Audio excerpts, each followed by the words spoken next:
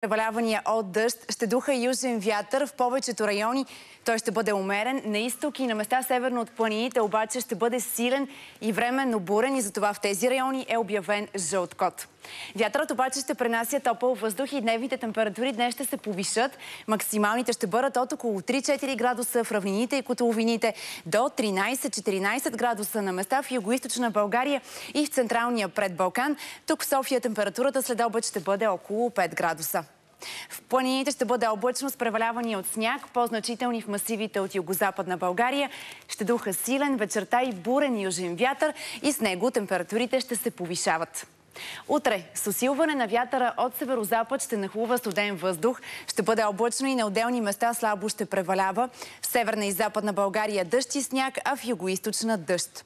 Температурите ще бъдат от около 0 градуса на северозапад, до 10-12 градуса на югоисток. В четвъртък ще преобладава слънчево време и температурите ще започнат да се повишават. Затоплянето ще продължи и в петъчния ден. През почивните дни обаче очакваме преминаването на пореден циклон през нашата страна.